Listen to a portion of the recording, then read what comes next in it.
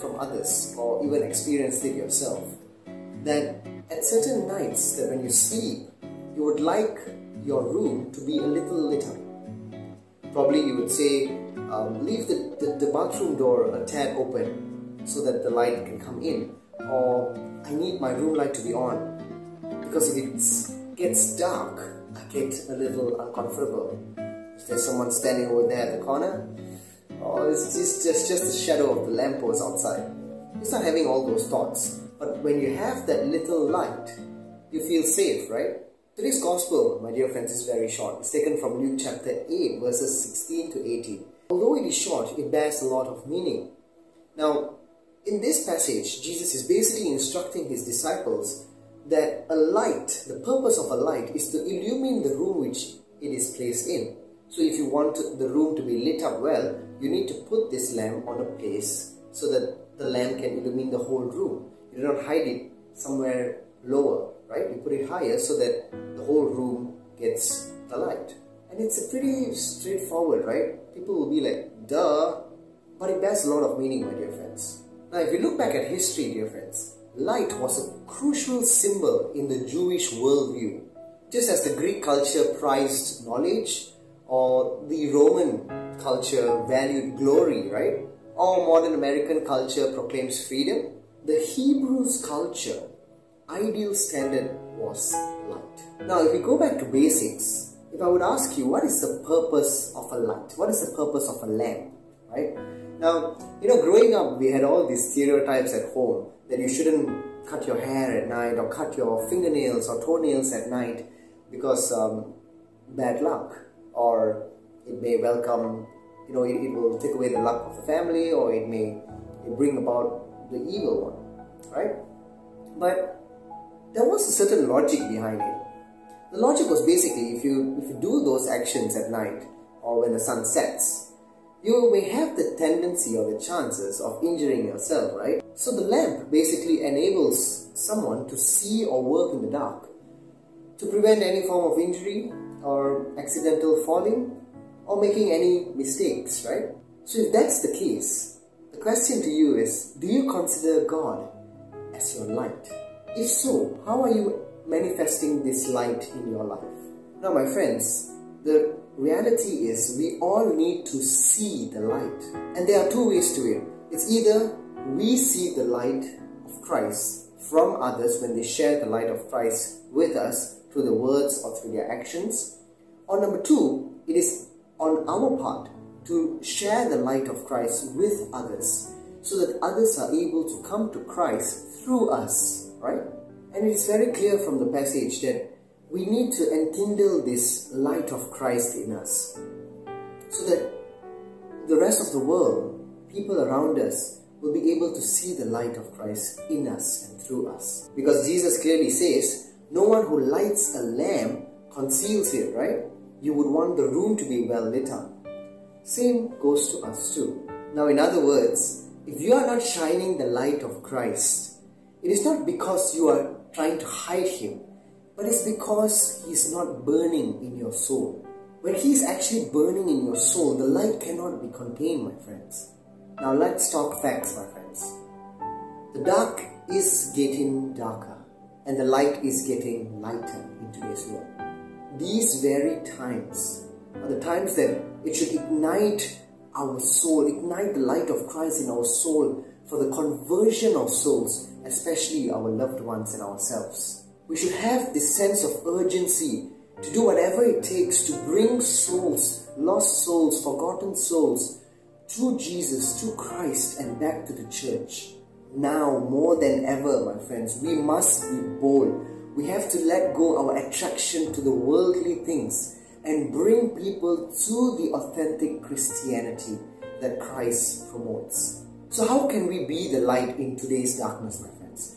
In today's sharing, I'll be sharing three points on how we can do so, how we can assist you to be the light to others. Now, the first thing to remember, friends, is your witness matters. Now, if you see John 13 15, Jesus says, I have given you a model to follow, so that as I have done for you, you may do so too. Now, as the saying goes, action speaks louder than words, right?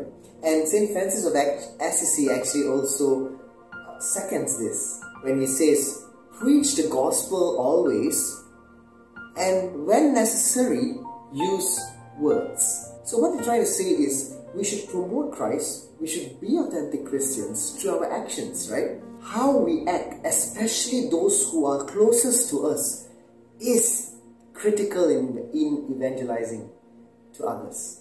Now, if you see a heart of an authentic Christian, all around it are full, are filled with the fruits of the Holy Spirit, that you will be able to resonate this in their own words and in their actions.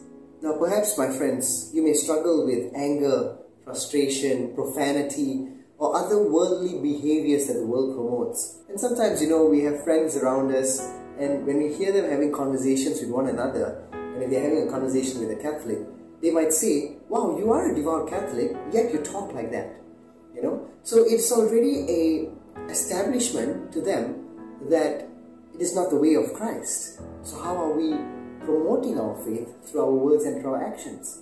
Or perhaps, you know, sometimes you come back from from church, right, after Mass, and you, you turn on the TV, and then you see something which is really bad on the news and all, and you start cursing, and you, you get so angry.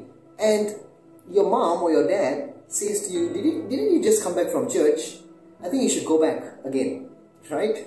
So, yes, my friends, we fall.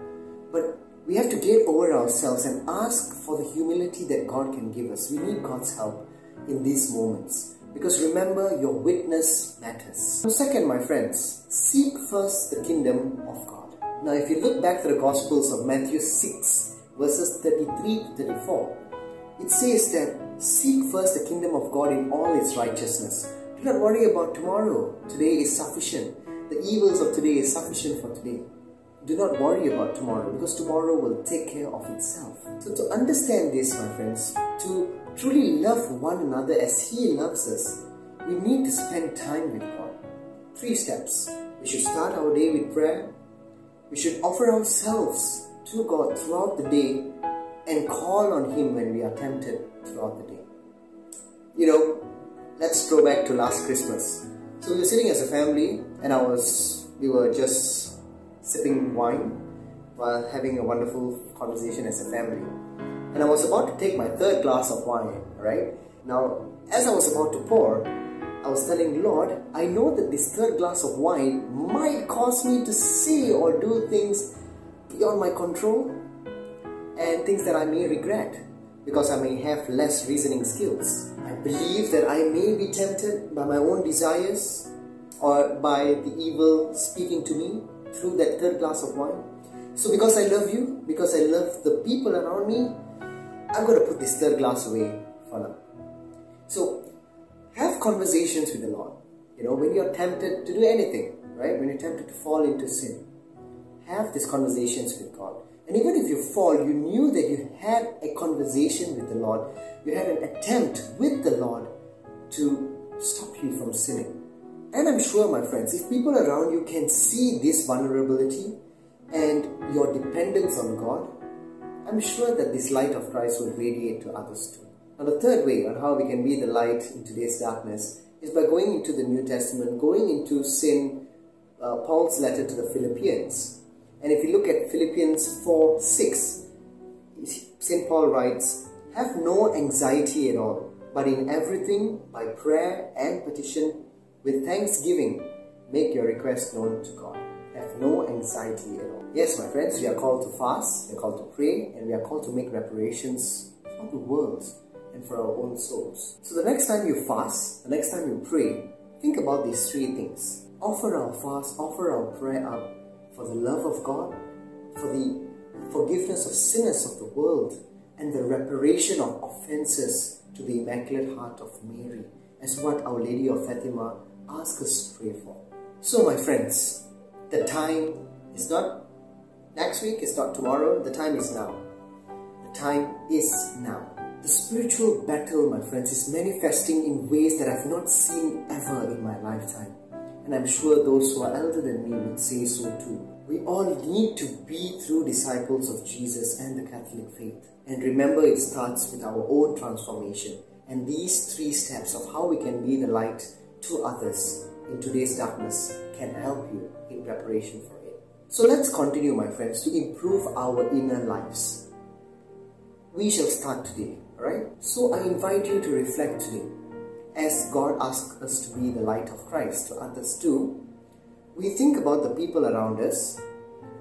Have they experienced Christ through us, through the light that we share to others? And if we have not been able to answer this question, probably let's look back at our lives, let's rekindle the light of Christ in ourselves before we are able to share it with others.